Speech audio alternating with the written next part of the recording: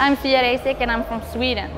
And I, I recently got a baby four months ago, uh, so uh, I, yeah, I prepare as uh, good as I can. Almost every time Russia is the toughest op opponent, and now it was from Hungary also. Uh, really strong movement.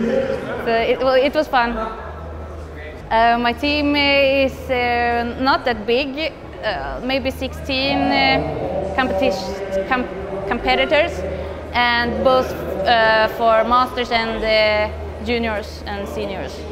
Um, we, we, I think we have five gold medals from master and junior and now senior, and then a couple of silver and bronze.